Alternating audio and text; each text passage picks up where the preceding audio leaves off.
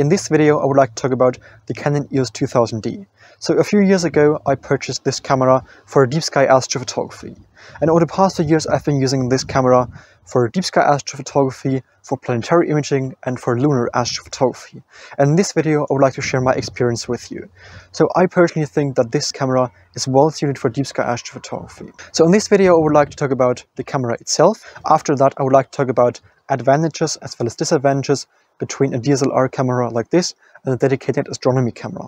After that, I would like to talk about uh, a few um, camera settings I prefer when using this camera for deep sky astrophotography. So I would like to talk about um, the perfect ISO value for less noise in your file image. And after that, I would like to give you my final opinion about this camera. So if you're considering getting this camera for deep sky astrophotography, this video will be helpful to you. All that and everything right after the intro. This video is not sponsored and not being paid for it. All products shown in this video were purchased by myself, but now I would like to start. Something that is very important for you to know is that all images shown in this video were captured with this camera. So this will be really helpful to you on deciding whether this camera is actually great for astrophotography. First of all, I would like to talk about advantages and disadvantages between a DSLR camera like this and a dedicated astronomy camera.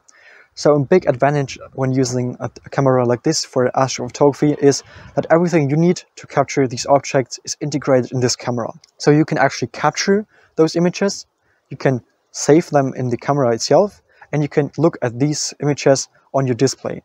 So everything you need is integrated in this camera. When using a dedicated astronomy camera on the other side, you need a special software to run the camera. So you can, for example, use the ZWO ASI Air Pro or in computer. But when using this kind of camera, uh, you have everything you need. For sure, you can use the, the camera in combination with the ZWO ASI Pro too, but when using a dedicated astronomy camera, you have to use the software. Another big advantage of using a DSLR camera like this for deep sky astrophotography is the price. So if you compare the price between a DSLR camera and a cool dedicated astronomy camera, you will quickly realize that those dedicated astronomy cameras are quite expensive compared to DSLR camera. So I bought this camera for approximately 500 euros, but when buying a dedicated astronomy camera, most time you have to invest more than a thousand euros, which is actually pretty much. Furthermore, this camera is not that heavy. So especially if you're using a smaller star tracker, for example, it's very important that your camera is not that heavy. So these are a few um, advantages of this kind of camera. But for sure, there are as well a lot of disadvantages. So that's why um, those professional astrophotographers are using dedicated astronomy cameras. And that is definitely noise. So when using a dedicated astronomy camera, uh, those cameras are cooled, which results in less noise in your final image. A DSLR camera, on the other side, has a lot of noise in the final image. So as I already mentioned, the big advantage of using a dedicated astronomy camera is the cooling.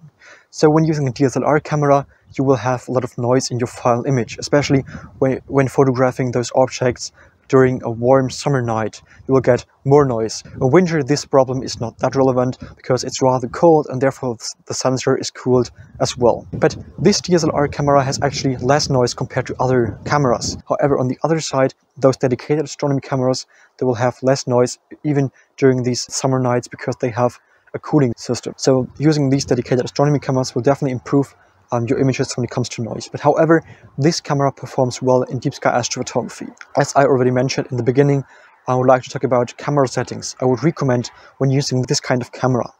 So I would like to talk about the ISO value. So over the past few years, I've used uh, this camera at different ISO values, starting from ISO uh, 400 up to ISO uh, 6400. And I have realized that the best ISO value for deep sky astrophotography is actually ISO 800. In summary, I would like to talk about a few advantages and disadvantages of this camera itself. So a big advantage is definitely the price. Another big advantage of this camera is that it's not as heavy and can therefore be used even on smaller star trackers as well. The disadvantage of this camera is the display itself. So you can't move for the display. So for example, when the object you want to photograph is not that close to the horizon, it's very hard to look on the display. And therefore, it's not that good, but still you can capture great images. So in summary, this camera is great for astrophotography. It's affordable, it's not that heavy, it's very user-friendly, and you have less noise compared to other cameras. At least this is what I have tested over the past few years. So in general, I definitely would recommend the camera for deep sky astrophotography, and you can even use it for, for planetary imaging and for lunar astrophotography, and even for landscape astrophotography. So in general, I really like this camera. If this guide was helpful to you, I would really appreciate a like and a subscription. Otherwise, thank you so, so much for watching. Until next time.